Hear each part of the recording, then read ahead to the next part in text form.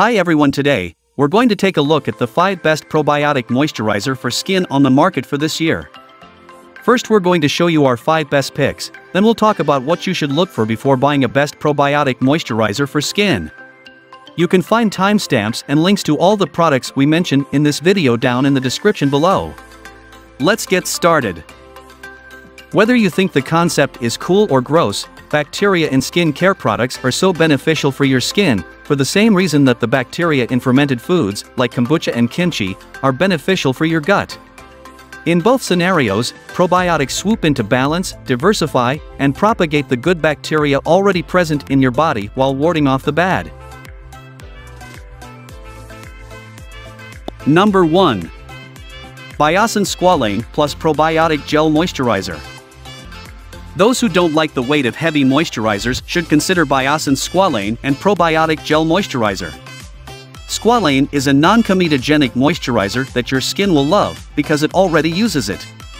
Squalane mimics the natural oils that your body produces.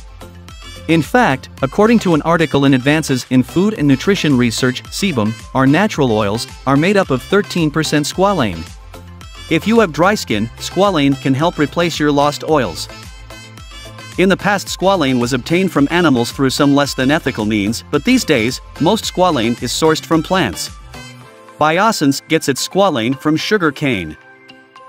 This light gel moisturizer also contains lactococcus ferment lysate which is where they're getting the probiotic in their name. To be clear, lactococcus ferment lysate is a postbiotic.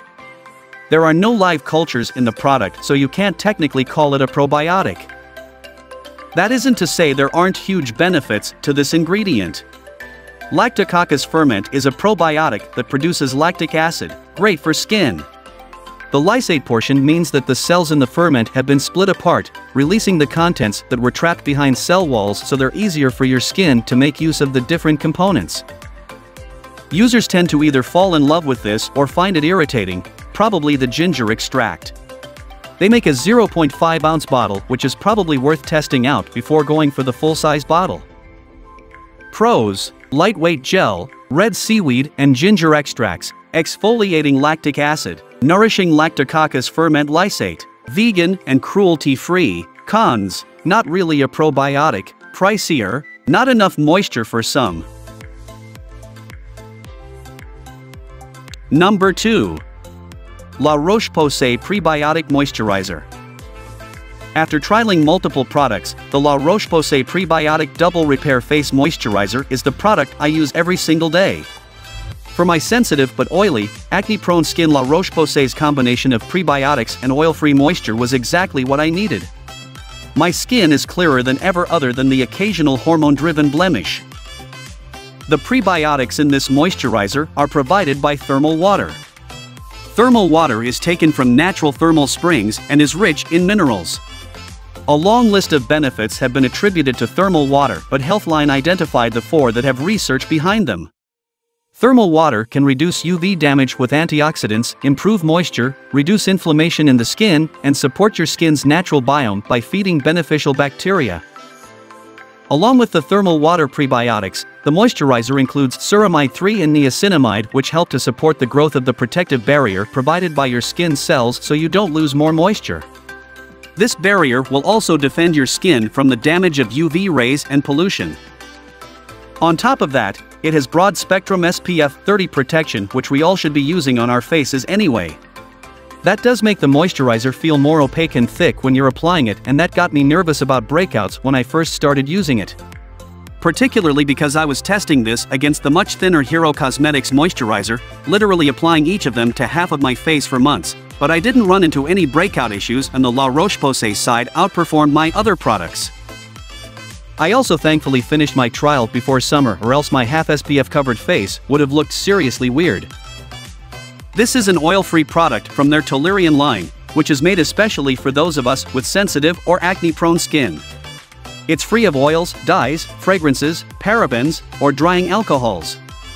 It does contain some silicone products and PEG 100 stearate if those are ingredients you are trying to avoid but doing the research for our silicone hair serums helped me understand how helpful silicone can be in cosmetics. I have been pairing this with the La Roche-Posay Thermal Water Body Lotion to prevent body acne as well. Pros, what I personally use, prebiotic thermal water, UV protection, ceramide 3 and niacinamide, oil-free, great for sensitive skin, cons, contains silicones, contains PEGs, moisture may not last as long as advertised. Number 3. Tula Probiotic Skincare 24 to 7 Moisture Day and Night Cream. For those who like their products to make use of the healing properties found in nature, check out Tula's Probiotic Skin Care 24-7 Moisture Day and Night Cream. Founded by a dermatologist, Tula loves to include botanical extracts in its products, and for good reason. These extracts can fight oxidation, reduce inflammation and redness, be antimicrobial and antifungal, and promote the general health of your skin. This cream contains extracts of blueberry, green tea, camelina, wild flax, turmeric, apple, watermelon, chicory, and lentil fruit as well as oils of Mexican juniper wood, palo santo wood, orange, lemon, safflower, olive, and ylang ylang flower. That's a plant full list. Chicory root serves as the prebiotic here to support your biome. For probiotics, they included yogurt extract and bifida ferment lysate though the ingredient list clearly states that it contains no active cultures so we're actually dealing with postbiotics again, but I think we're used to that by now. Bifida ferment lysate is a great culture choice when it comes to benefits to the skin.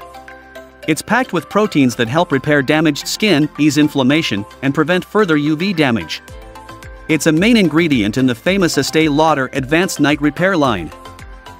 In case you couldn't tell by the 24-7 in the name and all those botanical oils, this cream is meant to be very hydrating. It accomplishes this long-lasting moisture with squalane, glycerin, safflower oil, olive oil, lipid-rich alcohols, not the drying ones, and hydrogenated vegetable oil. This is great for folks of most skin types other than those who have a high sensitivity to added oils. Their product info says that this is non-comedogenic and if you can use moisturizers that aren't oil-free, then you should be good to go. As someone with exceptionally reactive skin who gets a breakout from just looking at a face oil, when I see hydrogenated vegetable oil on an ingredient list, I start running. So just be aware of the type of moisture your skin likes.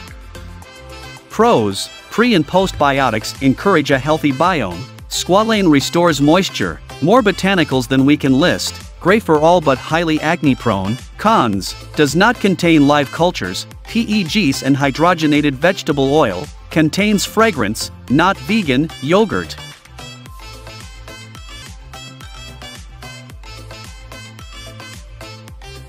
Number 4.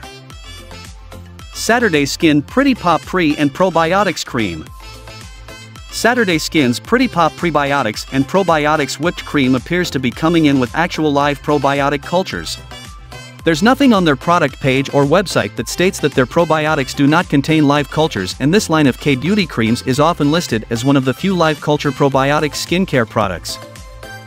It contains four different cultures, Lactobacillus ferment, Streptococcus thermophilus ferment, Lactococcus ferment lysate, and Bifida ferment lysate.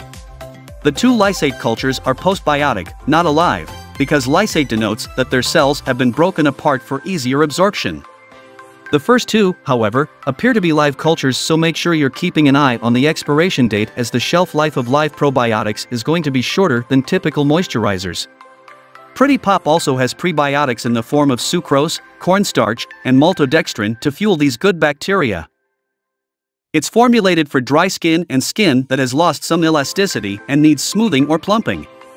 That makes it a good choice for aging skin that could use a little more spring in its step. Exceptionally oily skin that is prone to acne may not be the best candidate for this moisturizer. To achieve this, it's packed with niacinamide, glycerin, hydrogenated lecithin, shea butter, and adenosine which is known for its ability to soften the appearance of wrinkles. For botanicals the formula includes extracts of Texas cedarwood, okra, white lupin, orange peel, lemon peel, grapefruit peel, eucalyptus, morena, lavender, and rosemary. That said, it does contain denatured alcohol, a drying and mattifying agent, so if you're trying to avoid this ingredient, skip this one. Pros appears to contain live cultures, hydrating and smoothing for skin that needs plumping, Vegan and free of gluten, artificial fragrances or dyes. Nourishing botanicals like okra, white lupin, rosemary leaf. Cons. Contains PEGs. Contains denatured alcohol. Need to watch the expiration date. Pricey for a 1.5 ounce bottle.